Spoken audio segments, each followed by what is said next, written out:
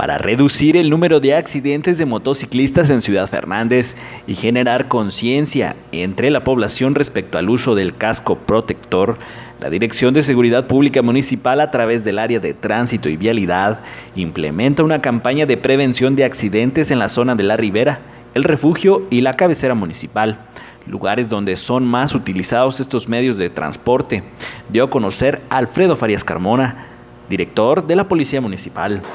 Y por ese mismo motivo, eh, hoy iniciamos un, un, este, pues un, pequeño operativo en lo que es la ribera y luego en el refugio, donde eh, vamos a hacer las indicaciones este, correspondientes en el sentido de que deben de portar un casco, pero no el casco este el que, el que usa la gente, ¿verdad?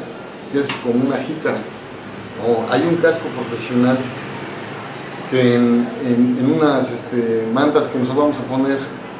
como señalamiento, ahí viene especificado el tipo de casco. Son cascos profesionales que se usan para las personas que, que, que manejan una, una, motocicleta. Entonces, esa es la, la recomendación para que, y más ahorita por la época de lluvias, que el piso está mojado, que tengan mucho cuidado a todos los habitantes de aquí de la, de la ribera, que se presta, presta allí por el camino que ya se encuentra en muy buenas condiciones, asfaltado y todo, y pues la gente ya aprovecha para, para meterle más a, las motos. Pues eso genera eh, inseguridad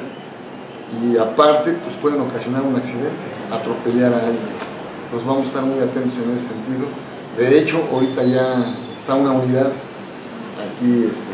en la zona de la ribera previniendo cualquier tipo de accidente.